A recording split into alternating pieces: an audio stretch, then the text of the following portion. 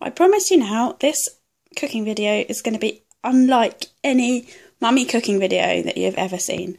We're going to attempt to make the hummingbird cake that we. Well, no, not the hummingbird cake because I have absolutely no idea how they did it. But a cake similar to the hummingbird cake that they made at Briddlesford that we liked so much. So the first thing I did was forget to buy butter and then measure out the only bit of margarine that we had left, which came to six ounces. So our cake recipe is based entirely on the fact that we had six ounces of margarine. So that's where we're starting. Six ounces of margarine and then brown sugar. I wanted brown normal sugar, but I couldn't get any. So this is the soft brown sugar to hopefully give it the brown colour. But I don't know if that'll make the cake all saggy and horrible. So we'll see.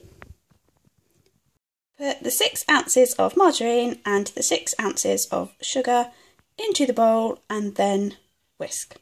Blend. Don't know what the word is. Use the thing that makes it mix together until you get to something like that. For six ounces, I'm going to put three normal size eggs in. I was told to whisk, mix, beat, still don't know the word, the last egg in with a spoonful of flour so that's what I'm going to do, whether it's right or not.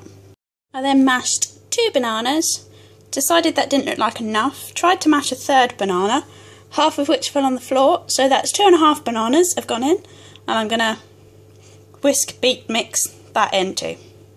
Didn't really think how else to get the pineapple in, so I opened a tin of pineapple chunks, which looked suspiciously too big, so I chopped them into quarters, but only that little top amount of them. And there's that many in there, which looks suspiciously like it's curdled, but I don't think that's the right word. Suspiciously like it's not right, and a very little bit like sick. But we're going to push on anyway. With a normal cake, you would usually put six ounces of flour in, but because it's had the bananas and the pineapple, I decided to put some more in because it looked a bit sloppy. So I've got seven ounces in there to go in, and then I had the spoonful that I put in with the egg. So we'll see how that goes. Now, once you put the flour in, you should always fold in gently with a spoon. But I doubt that anyone that is properly serious about baking is still watching by now. And I ran out of time and energy, and I'm not entirely sure if it's going to work anyway. So I whisk, mix, beat, thingied it, and it now looks like that. I'm going to put it in cake tins. I then lined my tins with a mixture of the last of the margarine and a little bit of oil because I'd run out of enough margarine to really do the job. Um, and lined with greaseproof paper squares because by now I lost the ability to cut circles or the will to live. So that's what it looks like. And blobbed it in half each and turned it into what looks like flat sick in bowls and I'm going to put it in the oven for I don't know how long. Let's face it, I'm winging it here. I've got no idea. Um, for some amount of time until it looks cooked.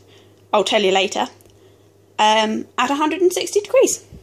I cook them until when you pull on this bit they come away from the side and they feel like cake.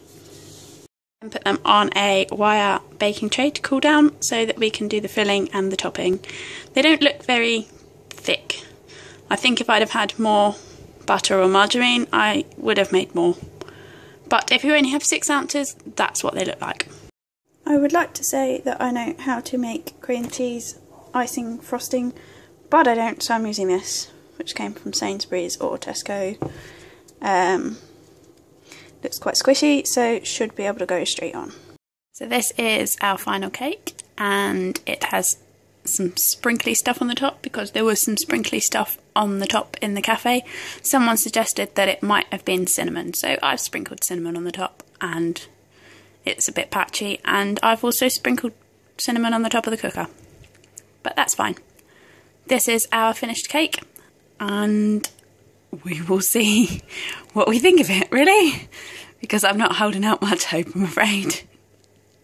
It's actually surprisingly good. It tastes more like banana cake than anything, and I'm not entirely sure that I can call it hummingbird cake, but it is hummingbird cake inspired. and it's made something that is in fact quite edible and really fairly pleasant. Um, how long did I cook it for? I think I cooked it for about 35 minutes. Whether or not that's right, I don't know, um, but it doesn't taste too bad. The edges are a little tiny bit crunchy, so maybe 30 minutes. Depends on your oven and your skill and the thickness of your cake. But that wasn't too far off, and yeah, it's not been too bad. If you liked this or any others, please subscribe for more because we really enjoy doing this. Whether or not we're helpful, I don't know. But we're having a great time. And thank you to all my subscribers, and feel free to join us.